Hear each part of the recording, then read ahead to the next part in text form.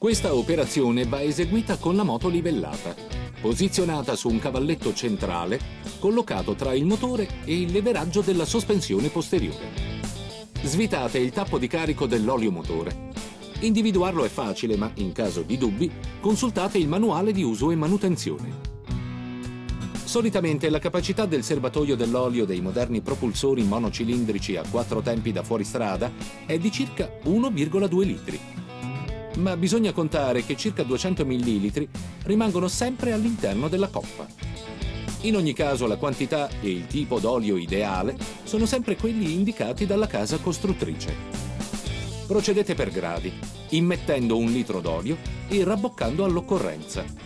Il controllo va effettuato a caldo, lasciando girare il motore per circa due minuti. Prima di avviare il motore bisogna accertarsi che l'olio abbia raggiunto un livello di massima. Per farlo basta allentare la vite di controllo e verificare che esca qualche goccia.